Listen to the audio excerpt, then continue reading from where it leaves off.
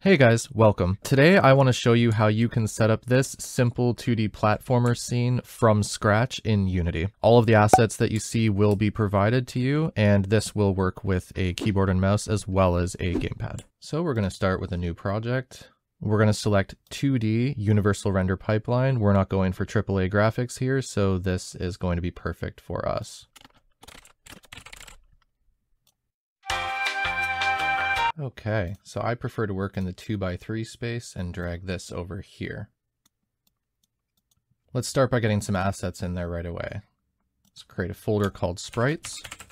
And again, the link for these sprites is in the description below. So you can go inside and go into player and drag that into the hierarchy here. So one thing that you want to make sure of is if you select character here and over in the inspector panel over here, you want to go down to character rig and make sure that the pivot point is set to center or that's going to cause you problems later on.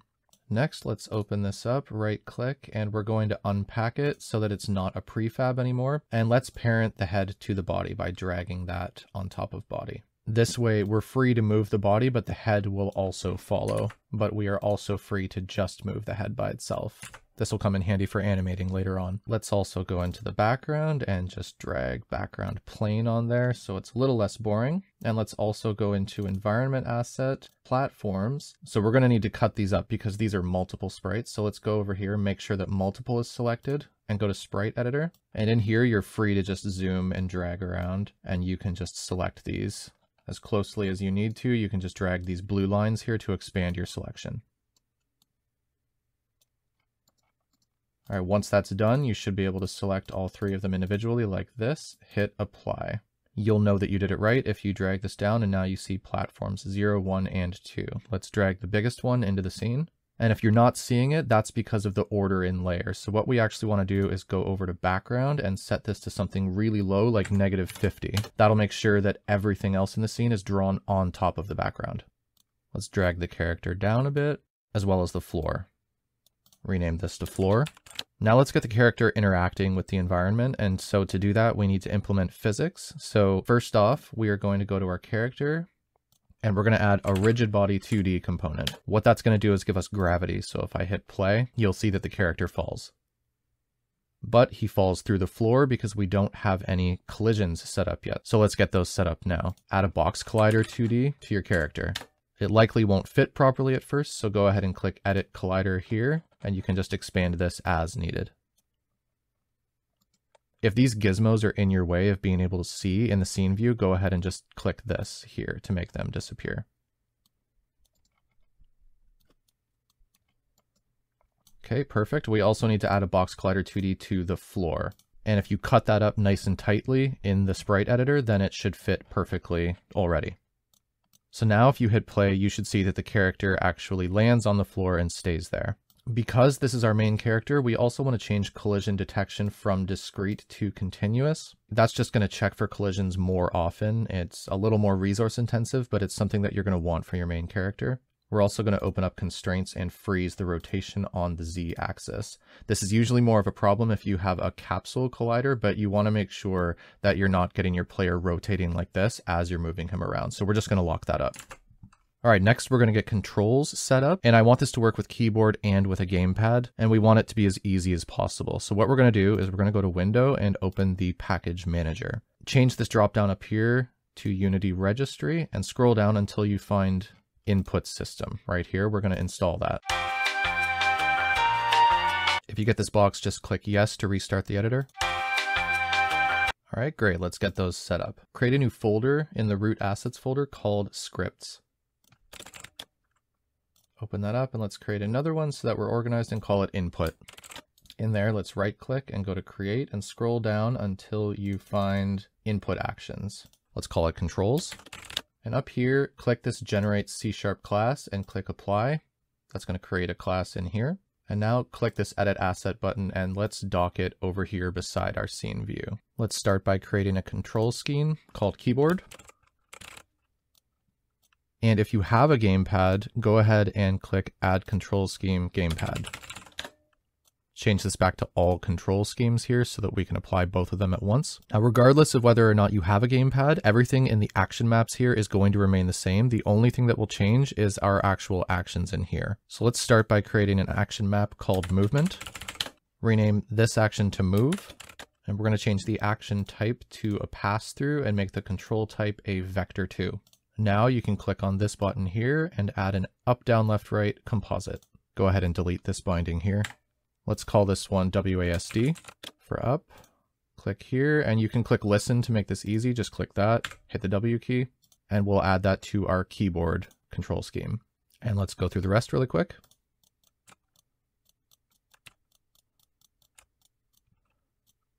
Let's add another one for our arrow keys.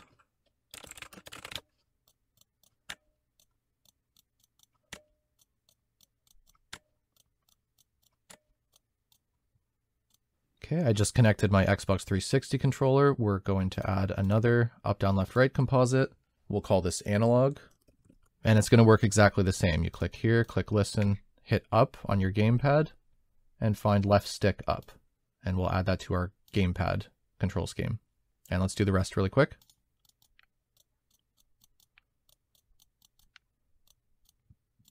And we'll do the same for the D-pad.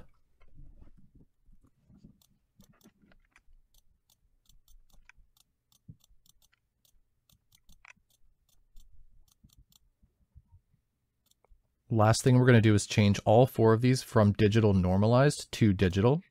What you'll notice with digital normalized is that actually if you're holding a direction on your gamepad, like you're wanting to move to the right and it's going slightly up as well, it's actually going to slow down your movement speed.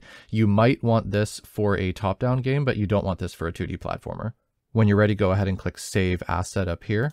It's very important. Now that we've created our control class and it's all set up the way that we want it, we actually need to set up the script that actually listens for our input. So let's do that now. Right click and create a new C sharp script called user input. So go ahead and delete all of this startup stuff. And we're actually going to turn this into a singleton class. And you may or may not know what that means, but we'll see what it actually does later on. And it's actually a really great way to be able to make things stay persistent even between scenes in your game. So if you want to be able to keep a game object in your game from one scene into the next when you load a new scene, this is one of the ways that you can do it. We're going to create a public static user input and call it instance. Then in our awake function, if instance is equal to null, then the instance is equal to this.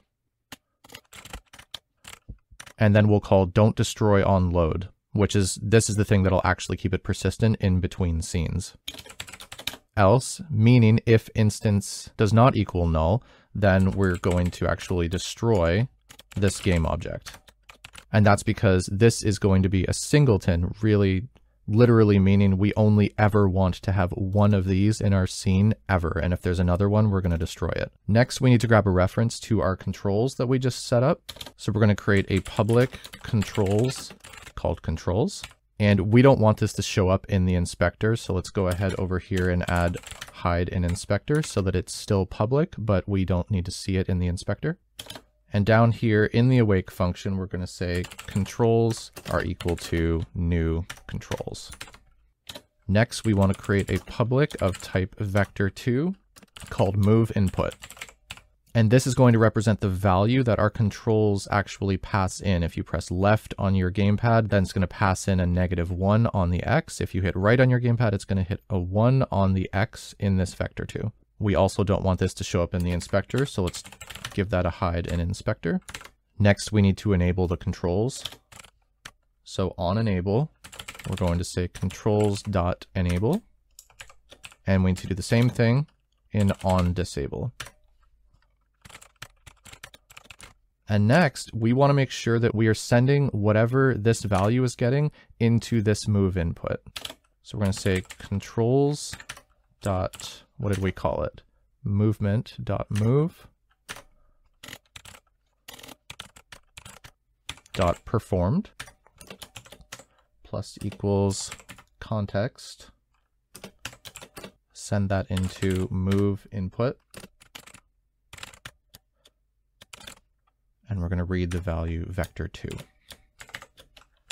So this syntax is a little bit confusing, but essentially what you are doing is grabbing what these inputs are and you're sending them into your move input variable. And that's all we need for this script. But because this is a MonoBehaviour, it needs to actually sit on something in the game view. So what we're going to do is create a new empty, let's call it game manager. Let's reset the transform and add user input on top of that. Okay, so now we are actually able to read our input properly. So let's go ahead and get our character moving around on the screen. Click character, go down here to add component, and let's create a player class.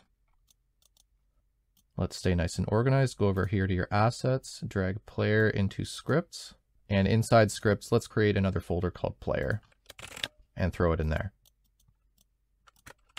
I'm just going to rename that to player in all caps so it's a little easier to find. Let's go ahead and open this up. Let's go ahead and get rid of this stuff here. So we're going to move the character by updating the velocity of the character's rigid body that we added. So let's first grab a reference to the rigid body private rigid body 2D, let's call it RB. And in our start function, let's grab that reference.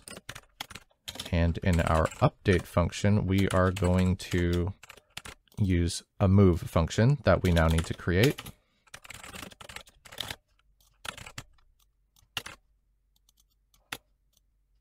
Now we want to grab a reference to our move input over in the user input script. So let's create a private float move input. And down in move, move input is going to be equal to user input dot instance dot move input dot x. This is a 2D platformer, so we don't really care about the y, we only care about left and right. So now we have our x value from our user input, and now we can pass that in as our velocity. And let's give that a speed. We'll just throw in seven and a half for now. We'll change that in just a second. But for our y, let's go ahead and just pass in what the velocity of the y is so that we're not interfering with that. So up here, there's no need to make it public. What we can actually do is serialize the field of the private type float. We'll call it move speed. And we'll swap this number in with move speed instead. Let's give that a default value of 7.5. Remember to put the F on the end if it's a float. Save your script with Control S and let's go back into Unity and make sure that that's working. If you saved your script like I did before you put in the default, then you're going to see that you've got a zero in your inspector here. So let's just add that in and try again. Great. Next, what I would like to do is get him turning in the direction that he's moving. So let's set that up now. Go back to your player script, so what I would like to be able to do is to dynamically check which direction the player is turning in start. So to do that, let's add serialized field, private game object, left leg. And again, for the right leg, let's go back to the inspector and add those in now. Drag in the right leg from the player down here and the left leg like so. And what we're going to do is add a function called start direction check. So we want to check if the x position of the right leg is greater than the left leg, then he's facing right. Right leg dot transform dot position dot x is greater than left leg dot trans transform dot position dot x. Then let's go up here and create a public bool called is facing right. Again, we don't need to see this in the inspector, so let's put hide in inspector. We just want it to be public in case we ever want to be able to access this from another script. So back down to start direction check. If the right leg transform position.x is greater than the left legs, then we will say that is facing right is equal to true. Else is facing true is equal to false. Now let's call this in our start function. So as soon as we load up the scene now, it's going to run this and it's going to dynamically decide whether our character is facing right or not. We already know that the player is facing right, but sometimes with different asset packs, you might actually have characters that start facing the left, and that can be a bit of a pain when you've got all this movement code running. Now that we know what direction he's facing, we can actually start working in some turn code. So let's add a function called private void turn check. So we're going to say if user input dot instance dot move input dot x is greater than zero and is facing right is equal to false. Or an easier way to write this is to get rid of that and just put an exclamation mark at the beginning. And is facing right is equal to false. So our x is greater than zero, which means we're pushing right on the keyboard, but our character is facing left. This means we want to turn the character. And else if user input dot instance dot move input dot x is less than zero, so you're pushing left on your keyboard and the player is facing right, then we also want to turn. So let's go ahead and create that turn function now. Private void turn. Let's throw that in here. And here we're going to say if is facing right. The way that I actually want to turn him is to rotate on the y-axis by 180 degrees. That'll get him facing left. And if he's facing right, we just want that to be zero. So we're going to create a vector 3 called rotator. That's going to be a new vector 3. The x is going to remain the transform.position.x. The y is 180 degrees. And the z is also going to remain transform. I apologize, rotation.z. Change that over here. So that's the actual vector 3 that we want to plug into the inspector. So we're going to say transform dot rotation is equal to quaternion dot Euler, and we'll plug in our vector 3 rotator that we just created. And finally, let's change this bool value to be what it was not before. So is facing right is equal to not is facing right. All this is going to do is flip what it was before. So that's if the character was facing right else, let's go ahead and copy all that code, except instead of 180, we want that to be zero. Now finally, you can see we're calling this twice right here. You can see it's right here, but turn check is not actually being called. So we actually want to go back up to our move function and add something in there. If move input is greater than zero, or move input is less than zero. So if you're pressing left or right, then we'll do a turn check. You could put this in the update function, but there's no need to run this every single frame. There's only a need to run it when we're actually turning left and right. So let's go ahead and test this.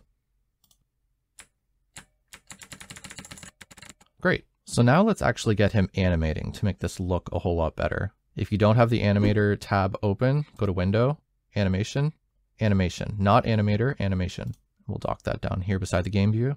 Now with your player selected, click create here. We're going to click on our assets folder and create a new folder called animation. Now let's actually get an idle going before we create a walk. So we'll call it idle. So let's add a property and let's add our body's transform position. Before we start, I'm actually going to drop my player onto the floor. That'll make animating the walk cycle a lot easier. So idle is always going to be a looping animation. So let's go ahead and click on those keyframes there, hit Control C, and let's go over to frame 20 and Control V to make sure that they're the beginning and the end are the same. Let's go to frame 10, hit the record button over here, and we'll move the body up just a little bit. So already if you hit play, you can see what's happening. Make sure that you don't have secret hidden keyframes over at the one second mark. If you do, delete those out. You hit play, this should be looping nicely now. Now let's also get his head in there. Because we clicked record, you can actually just go over here, click head, and you can actually just move it down it'll automatically add the beginning and those keyframes there. And at frame 15, let's move his head back up a bit. Make sure you copy your beginning frames into the end again. Let's see how it looks. You can adjust that until it's how you like it.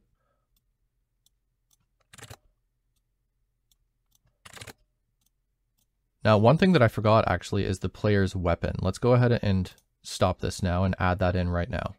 Go back to sprites, tutorial asset pack, go down to player, and your scythe will be in there. Before we drag that into the scene, let's go into the sprite editor and make sure that you move your pivot point down to the base there. What the pivot point does is controls where this image actually rotates from. We want it to rotate from the bottom, not from the center. Click apply, and now you can drag that into your hierarchy.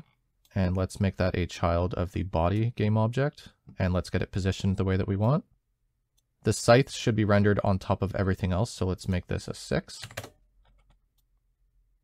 And you can see, if you go back to your animation, because we parented the scythe to the body, it's already moving along with the body up and down. Now back into our animation at frame 10, let's rotate the scythe back just a little bit. And finally at frame 5, let's squash the head a little bit, and at 15 we'll stretch it a little bit. So you can click head, click on the scale tool, Gonna squash it down and widen it a little bit and stretch that a little bit.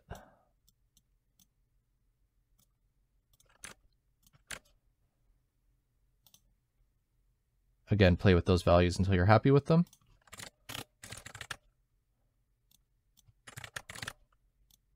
Okay, so that is our idle. And actually you'll notice if you hit play, it's already going to be animating with that animation by default. That is because in the process of setting up the animation, Unity went ahead and added an animator component to our player with a controller called player, which got saved into the same folder as our idle animation. Next, let's set up a walk cycle. Click on your player, go over here and click on create new clip. And I'm just gonna disable the background for a minute so that I can see what I'm doing a little bit better. So on our very first frame, I actually want the legs to be split apart. Make sure you hit the record button. Go ahead and rotate the right leg and move it back up there. Same thing with the left leg.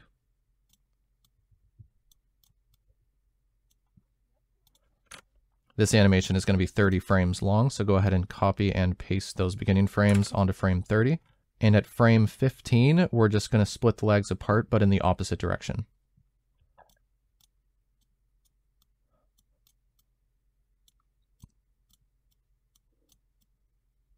Go ahead and hit play and see how that looks. Great, so let's get this looking a little bit better. Let's rotate the scythe back just slightly at frame 15. Now we just created the contact poses for the walk cycle. So what we're gonna do now is create the down pose. So at frame four, we're gonna move the body down just slightly and up slightly at frame 10. Copy and paste those at frame 20 so that they should be on frame 20 and 26. Let's see how that looks. Make sure your beginning frames are the same at the end. Looking a lot better already. And if you want, we can also get the head squashing and stretching a little bit on the down and up poses. So the down, we'll squash him just a bit. And we'll stretch him just a bit here.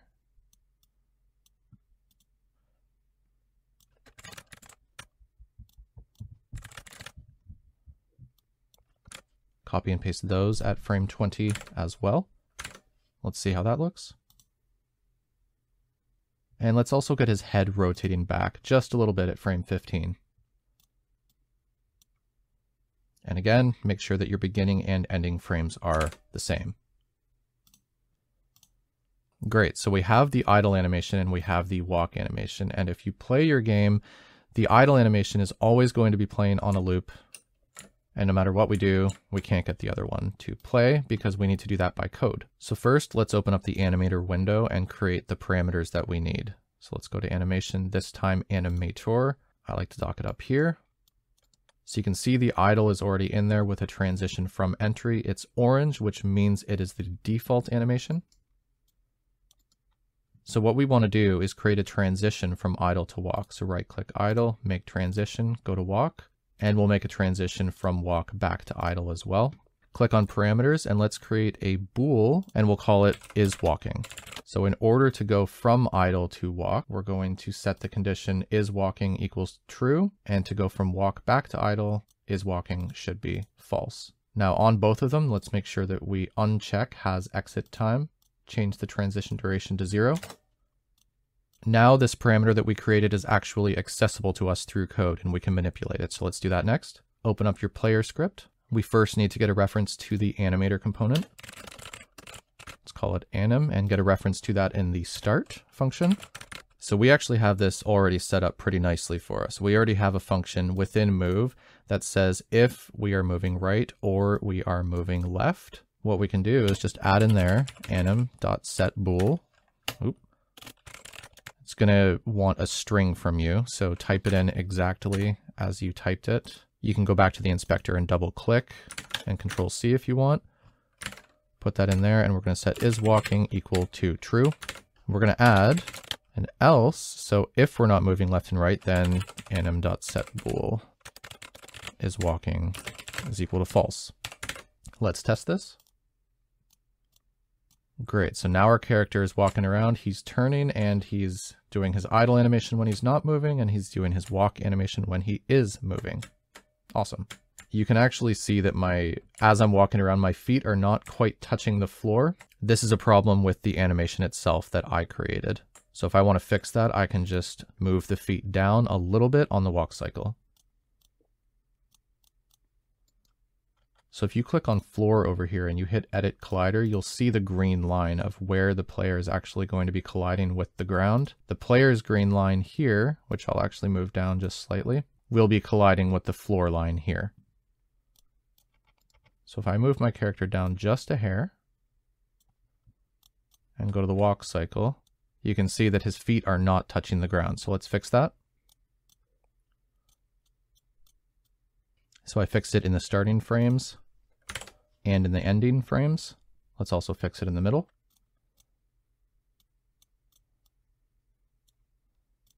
That's looking a little better anyways.